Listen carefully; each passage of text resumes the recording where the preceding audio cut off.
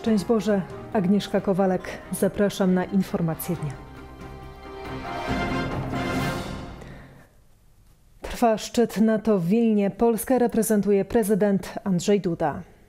Bezpieczeństwo wschodniej flanki NATO to główny temat, który rezonuje w czasie szczytu NATO w Wilnie. Wzmocni je niewątpliwie przyjęcie Ukrainy w szeregi sojuszu, mówi prezydent Andrzej Duda. Dzisiaj to my jesteśmy tą flanką NATO. Jeżeli Ukraina mam nadzieję, zostanie przyjęta do NATO, to ta flanka przynajmniej w części znacząco rozciągnie się na wschód. Ukraina stanie się więc takim buforem oddzielającym nas od realnego zagrożenia, jakim dziś jest Rosja. Na marginesie szczytu prezydent Andrzej Duda spotkał się m.in. z premierem Wielkiej Brytanii. Przede wszystkim dyskutowaliśmy o kwestiach wspólnych programów zbrojeniowych. Pamiętajmy Narew, Miecznik, plany na przyszłość. To były te zasadnicze kwestie, e, o których mówiliśmy wczoraj z panem premierem. Tematem spotkania była również kwestia dalszego wspierania Ukrainy. Zarówno Wielka Wielka Brytania, jak i Polska są absolutnie w awangardzie donatorów Ukrainy, to my właśnie, my mówię w sensie zarówno Brytyjczycy, jak i my Polacy przekazaliśmy jak do tej pory na Ukrainę, oczywiście po Stanach Zjednoczonych, najwięcej sprzętu i ta pomoc z naszej strony jest największa. Prezydent Andrzej Duda zapowiedział, że po powrocie do Polski zwoła Radę Bezpieczeństwa Narodowego. Będę chciał, e, tak jak zazwyczaj to robiłem po szczycie NATO, zaprosić stałych, że tak powiem, uczestników na Radę Bezpieczeństwa Narodowego po to, by zrelacjonować, e, także po to, by wysłuchać głosów co do sytuacji. Dokładna data zwołania Rady jeszcze nie padła. Gdyby Ukraina teraz została przyjęta do NATO, konsekwencje mogłyby być bardzo poważne, mówił szef gabinetu prezydenta RP Paweł Szrot. Sekretarz generalny NATO Jens Stoltenberg podczas trwającego w Wilnie szczytu NATO Powiedział, że sojusznicy ustalili pakiet środków, by przyjąć Ukrainę do NATO. Potwierdził, że zostanie ona członkiem sojuszu. Nie podano jednak ram czasowych dotyczących akcesji. Sekretarz sojuszu zapewnił, że zaproszenie zostanie wysłane Ukrainie, gdy spełnione zostaną ku temu warunki. Najlepszą perspektywą przystąpienia Ukrainy do NATO jest czas po zakończeniu wojny, mówił szef gabinetu prezydenta RP Paweł Szrot. Termin jest oczywisty. Może to nastąpić po zakończeniu wojny, po dobrym zakończeniu wojny, co rozumiemy przez zwycięstwo Ukrainy i odzyskania wszystkich terytoriów okupowanych y, przez y, Rosję od 2022, ale też od 2014 roku. Ukraina zdecyduje, na jakich warunkach będzie chciała ten pokój zawrzeć i kiedy będzie do niego gotowa. Kraj ten jest suwerenny i jest ofiarą agresji, więc y, tutaj to jest zrozumiałe, że to on decyduje w jakimś stopniu, kiedyś się ta wojna skończy, ale perspektywą akcesji do NATO, tego kraju, perspektywą realną jest czas po zakończeniu wojny. Minister został zapytany także o to, co w sytuacji, kiedy wojna będzie trwała dłużej. NATO to jest sojusz obronny, obowiązuje w nim artykuł 5, co zostało zresztą wczoraj bardzo czytelne potwierdzone przez państwa członkowskie, że agresja na każde terytorium będzie odparta z e, pełną siłą Czyli jeżeli nas zaatakują, to my oczywiście Też, adekwatnie oczywiście, odpowiemy i to solidarnie. Natomiast gdyby Ukraina teraz została przyjęta do NATO, artykuł 5 miałby oczywiście do niej zastosowanie konsekwencje mogłyby być bardzo poważne. Wcześniej prezydent Andrzej Duda mówił, że niewykluczone, iż ministrowie spraw zagranicznych przeprowadzą pod koniec roku ocenę przygotowań Ukrainy do wejścia do NATO. Policjanci CBŚP razem z funkcjonariuszami Straży Granicznej rozbili gang przemytników imigrantów. Do sprawy zatrzymano dziewięć osób. Od 2021 roku grupa zorganizowała nielegalne przekroczenie granicy co najmniej 200 cudzoziemcom. Dokładna liczba przemyconych migrantów może być kilkukrotnie wyższa. Gang zajmował się przemytem za wschodniej granicy Polski do granicy z Niemcami. Większość migrantów to mieszkańcy Bliskiego Wschodu. Za przemyt płacili oni 5 tysięcy euro. Według śledczych obcokrajowcy po przekroczeniu granicy Białorusi z Polską byli przewożeni samochodami na granicy z Niemcami. Tam byli zostawieni Zatrzymani usłyszeli zarzuty działania w zorganizowanej grupie przestępczej. Blisko 50 zarzutów zorganizowania przekroczenia granicy państwowej z Republiki Białorusi do Rzeczpospolitej Polskiej cudzoziemcom nieposiadającym dokumentów potwierdzających prawo do wyjazdu i pobytu na terytorium Unii Europejskiej. Z obawy bezprawnego utrudniania postępowania prokurator podjął decyzję o skierowaniu do sądu wniosków o zastosowanie tymczasowego aresztowania. Sąd przychylił się do wniosków prokuratury. Sprawa ma charakter rozwojowy. Swoje dwudniowe posiedzenie rozpoczyna dziś Senat.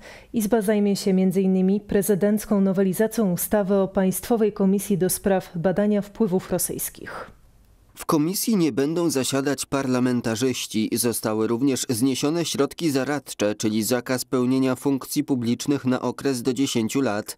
To główne założenia poprawek, jakie w nowelizacji ustawy dotyczącej komisji, która zbada rosyjskie wpływy w Polsce, przedstawił prezydent Andrzej Duda. Proponuję, aby na ich miejsce pozostało tylko stwierdzenie komisji, że osoba, wobec której ustalono, że działała pod rosyjskimi wpływami, że taka osoba nie daje rękojmi należytego wykonywania czynności w interesie publicznym. Mówił na początku czerwca prezydent Andrzej Duda. Ustawę przyjął już Sejm. My chcemy przede wszystkim wyjść naprzeciw oczekiwaniom naszych obywateli, którzy chcą i przede wszystkim mają prawo znać prawdę do tego, w jaki sposób nasza ojczyzna była zarządzana za naszych poprzedników. Na rozpoczynającym się dziś posiedzeniu prezydencką nowelą ma zająć się Senat. W ubiegły czwartek senackie komisje ustawodawcza oraz praw człowieka, praworządności i petycji opowiedziały się za jej odrzuceniem,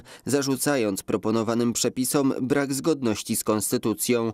Senat prawdopodobnie zajmie się także projektem uchwały w 80. rocznicę krwawej niedzieli na Wołyniu. O ekshumację ofiar rzezi wołyńskiej oraz ich godne upamiętnienie upominał się premier Mateusz Morawiecki w trakcie uroczystości rocznicowych w Warszawie. Zbrodnie ukraińskich nacjonalistów szef rządu nazwał straszliwym i okrutnym ludobójstwem. Z kolei Sejm przyjął jednogłośnie uchwałę upamiętniającą ofiary rzezi. Polacy nie spoczną, dopóki nie odnajdą ostatnich szczątków ofiar ludobójstwa, mówił przed pomnikiem wołyńskim w Warszawie premier Mateusz Morawiecki. My żyjący tutaj wraz z rodzinami wo wołyńskimi wołamy o pamięć, wołamy o uczczenie, wołamy o zgodę na odnalezienie, na poszukiwanie i odnalezienie, na ekshumację wszystkich naszych przodków. Premier przypomniał, że było to niewyobrażalnie okrutne i straszliwe ludobójstwo. Szef rządu zwrócił się bezpośrednio do narodu ukraińskiego. To nie tylko jest nasza sprawa, ale to także jest sprawa ukraińska. Nie będzie pojednania polsko-ukraińskiego do końca bez odszukania wszystkich szczątków, bez uczczenia ich do końca. W intencji ofiar sprawowana była msza święta w Katedrze Polowej w Warszawie. W modlitwie uczestniczyli m.in. marszałkowie Sejmu i Senatu oraz przewodniczący Rady Najwyższej Ukrainy Rusłan Stefańczuk. W homilii kapelan środowisk Armii Krajowej ksiądz Mirosław Biernacki wskazał, że nie można zapomnieć nigdy o ofiarach oraz o tym, kto był sprawcą. Módlmy się za naszych braci i siostry zabitych w Wołyniu, których Krew woła o upamiętnienie ich miejsc pochówku. Módlmy się o wolną, niepodległą Ukrainę. Módlmy się o wolną, za wolną i niepodległą Polskę. Przedstawiciele najwyższych władz państwowych uczcili pamięć ofiar składając kwiaty przed grobem nieznanego żołnierza. Sejm przez aklamację przyjął uchwałę upamiętniającą ofiary rzezi wołyńskiej. Posłowie wskazali w uchwale, że pojednanie polsko-ukraińskie budowane od lat przez przedstawicieli obu narodów musi objąć także uznanie win i upamiętnienie ofiar. Podkreślili, że zasadnicze znaczenie ma przeprowadzenie ekshumacji, godne pochowanie i upamiętnienie wszystkich ofiar ludobójstwa na Kresach Wschodnich. Jeżeli mówimy o pojednaniu polsko-ukraińskim, to wydaje się, że naturalnym elementem, który domknąłby ten proces y, pojednania polsko-ukraińskiego, powinny być zgody na y, prowadzenie poszukiwań, identyfikacji i godnego upamiętnienia polskich ofiar ludobójstwa na Wołyniu. Podkreśla wiceprezes IPN Karol Polejewski. W Chełmie powstaje Centrum Prawdy i Pojednania Muzeum Ofiar Rzezi Wołyńskiej imienia prezydenta Lecha Kaczyńskiego. To miejsce będzie elementem budowania przyjaźni polsko-ukraińskiej opartej na prawdzie i wybaczeniu, podkreślał minister Jacek Sasin. Nie jest naszym przesłaniem rozdrapywanie ran, nie jest naszym przesłaniem budowanie wrogości, budowanie murów, budowanie podziałów. Naszym przesłaniem jest budowanie pojednania, budowania dobrosąsiedzkich relacji, ale opartych na zdrowym fundamencie. Muzeum ma być gotowe do 2027 roku. Środki na jego budowę będą pochodziły z budżetu państwa. Ulewne deszcze nawiedziły Stany Zjednoczone. Stan wyjątkowy ogłoszono w kilkunastu hrabstwach. Podczas gdy Europa zmaga się z afrykańskimi upałami, a we Włoszech temperatura przekracza 40 stopni Celsjusza, północno-wschodnią część Stanów Zjednoczonych nawiedziły ulewne deszcze. Ostrzeżenia wydano dla ponad 13 milionów Amerykanów. Najbardziej ucierpiały Stany, Nowy Jork, Pensylwania i Vermont. W tym ostatnim spadło około 20 cm deszczu, zmieniając ulice w rzeki. Lokalne władze oceniają, że obecna powódź niesie za sobą gorsze skutki niż huragan, który nawiedził miasto w 2011 roku jako burza tropikalna. Wówczas straty oszacowano na 750 milionów dolarów. Irene, um, had about a 12 hour Podczas huraganu Iren było około 12 godzin deszczu, a potem to się skończyło.